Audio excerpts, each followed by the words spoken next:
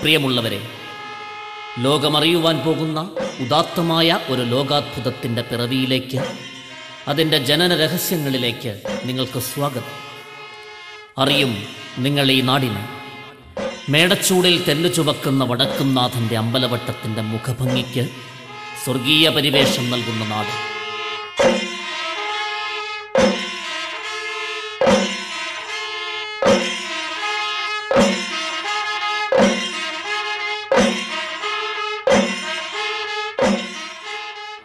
നിറഞ്ഞൊഴുകുന്ന പുരുഷാൽ പ്രാർത്ഥിക്കുന്ന ചുണ്ടുകൾ ശിവപഞ്ചാക്ഷരി മന്ത്രം ഒഴുകിയ വഴികളിലൂടെ ലോകം തന്നെ ഒഴുകിയെത്തുന്ന പൂരനാളുകൾ പുണ്യമാകുന്ന നാട് ആനകളും ആളുകളും തോളോട് തോളുരുമ്മി നിന്ന് ഇലഞ്ഞിത്തറമേളവും പഞ്ചവാദ്യവും കുടമാറ്റവും വെടിക്കെട്ടും ആസ്വദിക്കുന്ന നാട്.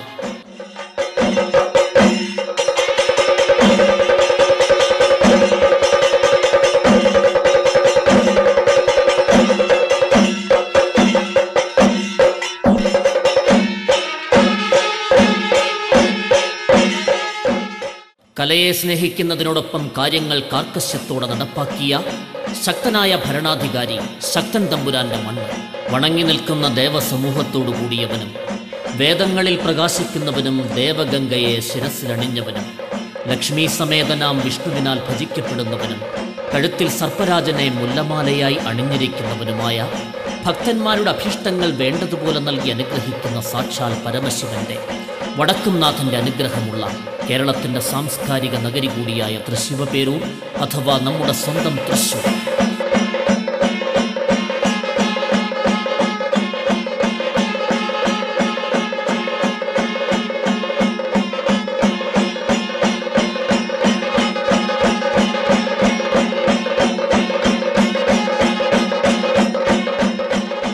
തൃശൂർ പൂരത്തിനും പുലികളിക്കും വെടിക്കെട്ടിനും പേരും പെരുമയും കേട്ട കേരളത്തിന്റെ സാംസ്കാരിക തലസ്ഥാനം.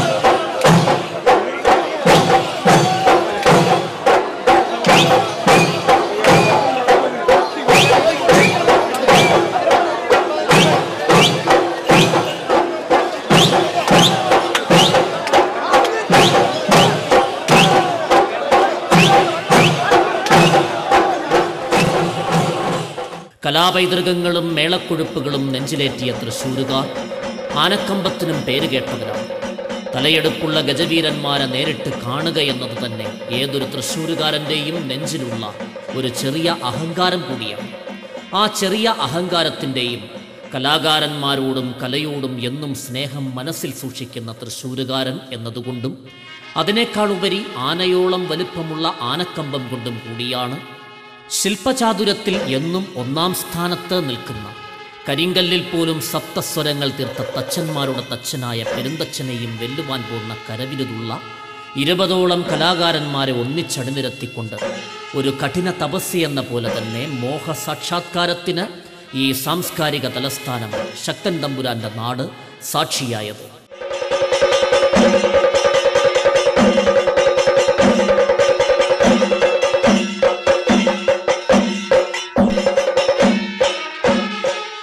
എനിക്കൊരു മരം തരൂ. ആ മരത്തിൽ ഞാൻ ദേവനെയും ദേവിയെയും തീർക്കാമെന്ന് പറഞ്ഞ പെരുന്തച്ഛന്റെ പിന്മുറക്കാർ മരങ്ങളിൽ ജീവൻ വെപ്പിക്കുന്ന ശില്പികൾ അവരുടെ പേരുകൊണ്ടും പെരുമ കൊണ്ടും പെരുമയുടെ പെരുമഴ കൊണ്ടും പേര് കേട്ട തൃശ്ശൂരിലെ ഒരു ഗ്രാമത്തിലാണ് ഈ സ്വപ്ന സാക്ഷാത്കാരത്തിന് ലോകം മുഴുവൻ ശ്രദ്ധ നേടുവാൻ പോകുന്ന ഒരൊറ്റ മരത്തിൽ തീർത്ത ആന എന്ന മോഹന സങ്കല്പത്തിന് പൂർണത കൈവരിച്ചത് വേദിയായത്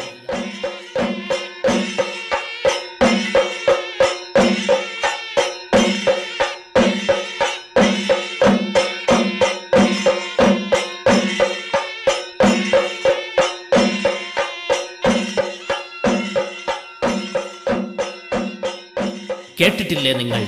ഗുരുവായൂർ കേശവനെക്കുറിച്ച് തിരുവമ്പാടി ചന്ദ്രശേഖരനെക്കുറിച്ച് പാറമേക്കാവ് പരമേശ്വരനെക്കുറിച്ച് ഗജരാജന്മാരെക്കുറിച്ച് പറയുമ്പോൾ ഈ പേരുകൾക്ക് വളരെയേറെ പ്രാധാന്യമുണ്ട്. ഗജരാജന്മാരുടെ രാജനായിരുന്നു ഗുരുവായൂർ കേശവൻ. മലബാർ ലഹളക്കാലത്ത് ആനകളും മുതലുകളും നഷ്ടപ്പെടാതിരുന്നതിന് നിലമ്പൂർ ഇളയരാജാവ് ഗുരുവായൂർ നടയിൽ കുടിയിരുത്തിയ കുട്ടിക്കേശവൻ. ഇഷ്ടാനിഷ്ടങ്ങളിൽ ദേവതുല്യനായിരുന്നു കേശവൻ.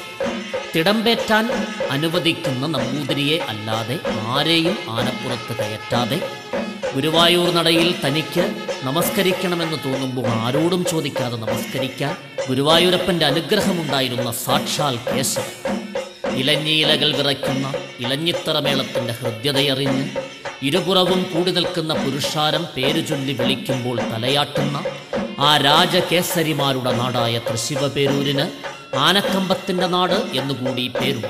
ആനക്കമ്പത്തിന്റെ ലഹരിയുള്ള പ്രൗഢ പാരമ്പര്യമുള്ള ഗജരാജ സങ്കല്പത്തെ മനസ്സിൽ സൂക്ഷിക്കുന്ന പൂർണതയുള്ള നാട്ടിൽ ഒരൊറ്റ മരത്തിൽ തീർത്തൊരാന നിങ്ങൾക്കായി പിറവിയെടുത്തിരിക്കുന്നു.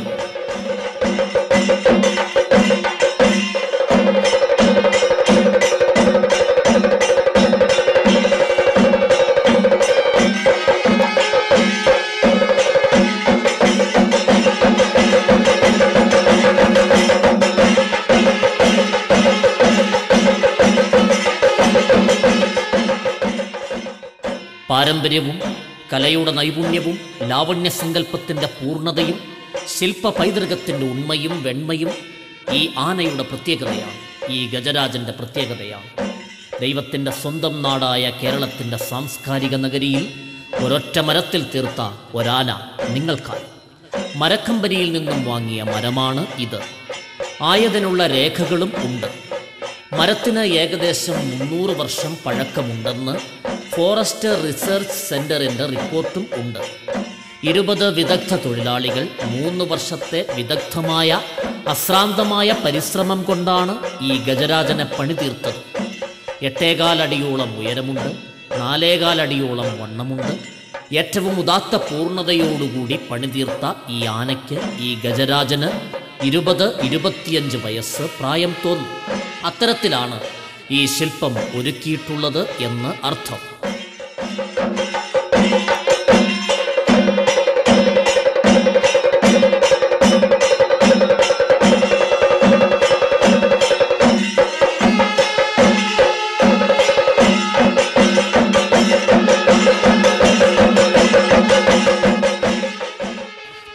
ടൺ മരത്തിൽ നിന്നും കൊത്തിയെടുത്ത ഈ ഗജരാജന് ഇപ്പോൾ രണ്ടര ടൺ തൂക്കമാണ് ഉള്ളത്. ആനയുടെ കഴുത്തിലെ കയറും ദേഹത്തുള്ള ചെങ്ങലയും മരം കൊണ്ട് തന്നെയാണ് തീർത്തിട്ടുള്ളത് എന്നത് നിങ്ങളെ അത്ഭുതപ്പെടുത്തും. കണ്ണുകളും നഖങ്ങളും കൊമ്പുകളും കയറും ചെങ്ങലയും ശില്പികളുടെ മികവുറ്റ കലാവിരുതിനെ എടുത്തു കാണിക്കുന്ന തരത്തിൽ ഉള്ളതാണ്. ലോകത്തെ ഒരൊറ്റ മരത്തിൽ തീർത്ത ഏറ്റവും ഉയരം കൂടിയ ഈ ഗജരാജൻ ഇതൊന്നു മാത്രമേ ഇപ്പോഴുള്ളൂ എന്നത് സത്യമാണ്.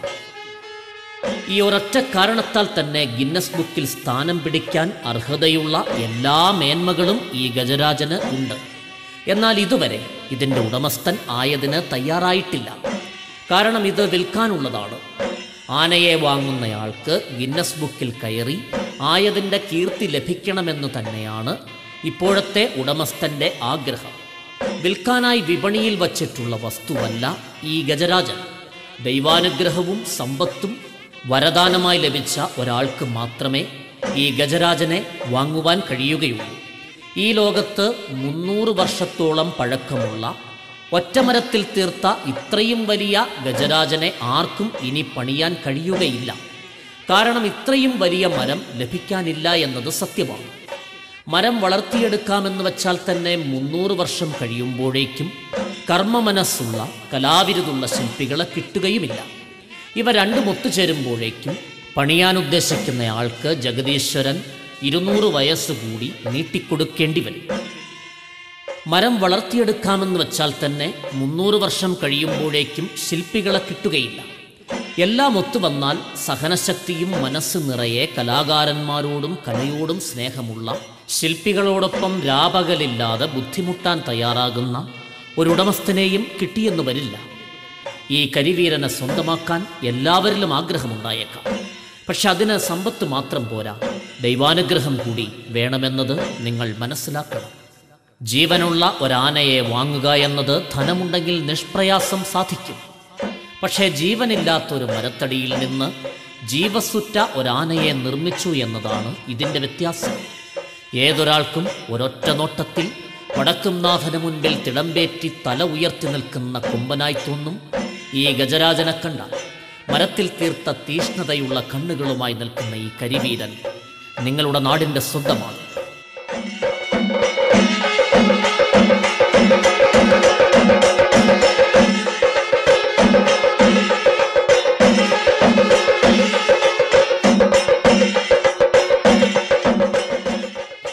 ഇനിയുമുണ്ട് ഈ ആനയ്ക്ക് ഈ ഗജരാജന് വർണന മുന്നൂറ് വർഷം പഴക്കമുള്ള ഒരൊറ്റ മരത്തിൽ തീർത്ത ഒരാന.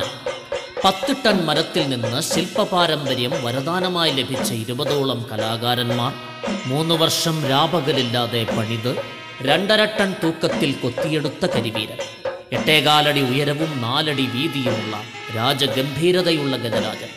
ഇരുപത് ഇരുപത്തിയഞ്ച് വയസ്സ് പ്രായം തോന്നിക്കുന്ന തലയെടുപ്പോടെ നിൽക്കുന്ന ഈ ഗജരാജന്റെ ഓരോരോ ഭാഗങ്ങളും ശ്രദ്ധിച്ചാലറിയാം ഈ ആനയെ കൊത്തിയെടുക്കാൻ വേണ്ടി വന്ന അധ്വാനം. ആനയുടെ കണ്ണിന്റെ കാന്തിക ശക്തികളിലേക്ക് സൂക്ഷിച്ചു നോക്കിയാൽ ആ കണ്ണിൽ കാണുന്നത് ആനയുടെ പകയോ സ്നേഹമോ ആയിരിക്കും. കണ്ണും കയറും ചെങ്ങലയും നഖവും കൊമ്പുമെല്ലാം മരത്തിൽ തന്നെ. പുസ്തകസഞ്ചിയും തൂക്കി സ്കൂളിലേക്ക് നടക്കുമ്പോൾ വഴിവക്കിലെ മഴവെള്ളത്തിൽ കടലാസ് തോണിയിറക്കുന്ന ബാല്യത്തിലും സ്നേഹനിശ്വാസങ്ങളുടെ യൗവനത്തിലും പക്വതയുടെ വാർദ്ധക്യത്തിലും. ഒരു മനുഷ്യൻ അവന്റെ ജീവിതത്തിന്റെ ഏതവസ്ഥയിലും രാജഗംഭീരതയുള്ള ഒരു കരിവീരനെ കണ്ടാൽ കണ്ണെടുക്കാതെ നോക്കി നിന്നു പോകുമെന്നത് സത്യമെങ്കിൽ ഈ ഗജരാജൻ ലോകത്തിന്റെ മുഴുവൻ ശ്രദ്ധ നേടുവാൻ പോകുന്ന ലോകത്തെ ജനസഹസ്രങ്ങൾ ഹൃദയം കൊണ്ട് ഏറ്റുവാങ്ങുവാൻ പോകുന്ന ഈ ഗജരാജനെക്കുറിച്ചുള്ള അറിവ് നിങ്ങൾക്കായി സവിനയം ഞങ്ങൾ സമർപ്പിക്കുകയാണ്. പൊന്നും മണിയും മരതകവും പൂവും മധുവും പൂമ്പൊടിയും കല്ലും മരവും കായ്ഫലവും മണ്ണും മനവും മയിലും കുയിലും മലയും ശിലയും വിണ്ണിടവുമെല്ലാം സൃഷ്ടിച്ച വിശ്വശില്പിയായ സാക്ഷാൽ ശിവഭഗവാന്റെ അനുഗ്രഹമുള്ള വടക്കുംനാഥന്റെ മണ്ണിൽ നിന്നും ലോകത്തിന്റെ മുഴുവൻ ശ്രദ്ധയും നേടുവാൻ പോകുന്ന ഈ ഗജരാജൻ നമ്മുടെ പൈതൃക പാരമ്പര്യത്തിന്റെ തിരുവമ്പാടി ചന്ദ്രശേഖരന്റെ പാറമേക്കാവ് പരമേശ്വരന്റെ അവരുടെയെല്ലാം രാജരാജ രാജഗംഭീരനായ കേശവന്റെ സാക്ഷാൽ ഗുരുവായൂർ കേശവന്റെ പ്രൗഢിയും ഉയർത്തിപ്പിടിക്കുന്ന ഈ ഗജരാജന്റെ പ്രൗഢപാരമ്പര്യം ഈ നാടിന്റെ അഭിമാനമായി വിളങ്ങുമെന്നത് സത്യമാണ്. സത്യമാകുവാൻ പോകുന്ന സത്യമാണ്. ഒന്നറിയണം നിങ്ങൾ ലോകത്തെ ഏറ്റവും വലിയ ആനയുടെ ഉയരം പന്ത്രണ്ടടിയും വണ്ണം അഞ്ചടിയുമാണ്. അതും തല ഉയർത്തിപ്പിടിച്ചാൽ മാത്രമേ മേൽപ്പറഞ്ഞ ഉയരം ലഭിക്കുകയുള്ളൂ. നേർരേഖയിൽ ചുവടുകൾ വച്ച് ഓരോ ചുവട് വയ്പ്പിലും മറുതോൾ മുന്നോട്ടാഞ്ഞ് തല നിവർത്തി നെഞ്ചു വിരിച്ച് താളത്തിൽ കൈകൾ വീശി നേർകണ്ണു നിലതെറ്റാതെ മന്ദം മന്ദം നടന്നു വന്ന് മലയാളികളുടെ മനസ്സിലിടം നേടിയ ഗജരാജന്മാരെ പോലെ ഒറ്റമരത്തിൽ തീർത്ത ഈ അപൂർവ സുന്ദരമായ ഗജരാജൻ നിങ്ങളുടെ മനസ്സും കീഴടക്കുമെന്നത് ഉറപ്പാണ്.